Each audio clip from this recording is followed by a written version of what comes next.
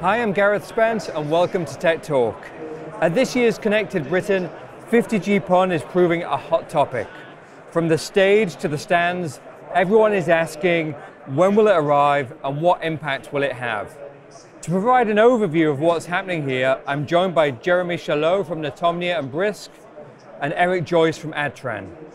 Jeremy, you previously stated that you're going to be the first service provider in the UK to deploy 50 GPON services. Are you still on track for that?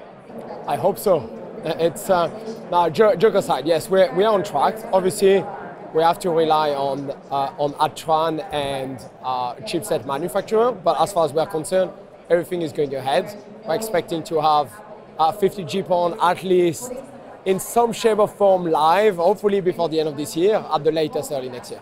What difference will 50G PON services make to your customers? To my customers, I'm not sure. But in reality, as far as I'm concerned, in order to remain relevant in the UK as an altnet, we have to drive innovation.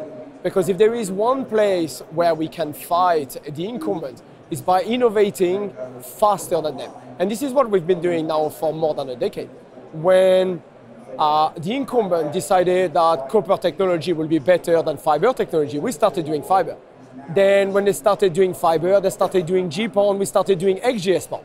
Now they finally caught on and decided that XGS-PON maybe is a good technology. Therefore, I start moving on to the next one, which enables me to provide in general services that will be much better, much faster, and ultimately makes my company better for the foreseeable future and therefore better for my customers.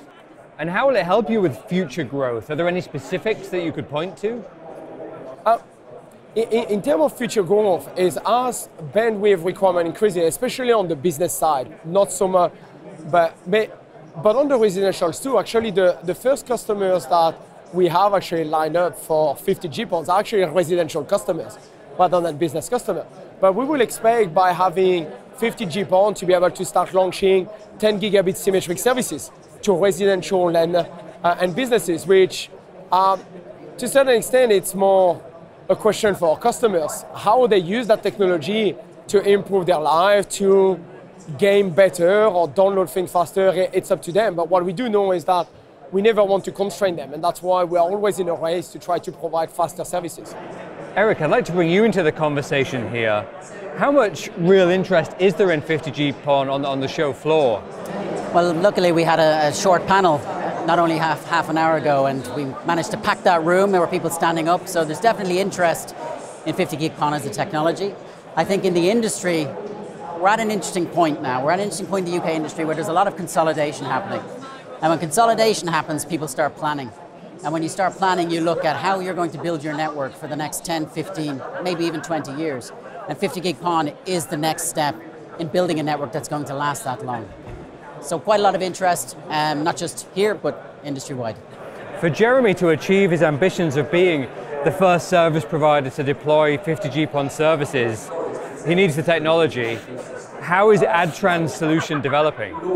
So we're working extremely hard at the moment. As Jeremy mentioned, there's always chipset supply issues, but we've, we've built the product or we've uh, designed the product. Um, we, we have the product ready to go, the SDX 6405. It's going to be the newest member of our SDX disaggregated series of OLTs.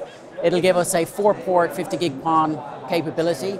We're working on the hardware and software packages at the moment and we hope to have it available to, to Netomnia as our first customer in the UK, certainly before the end of the year. We want live service before the end of December. Fantastic. Gentlemen, thanks for joining me today. Thank you.